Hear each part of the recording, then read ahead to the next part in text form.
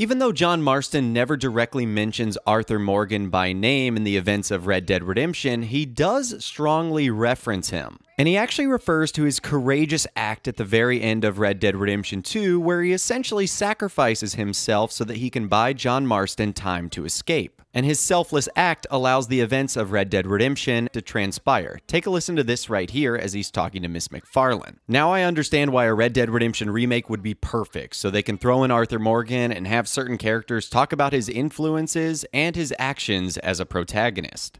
If you ask me, it usually takes more strength to stay than to run, Miss MacFarlane. All right, Arthur, come on, let's go. You go. Keep pushing, Arthur. No. no. I think I've pushed all I can. Come on. You go. We ain't got time for this, not now.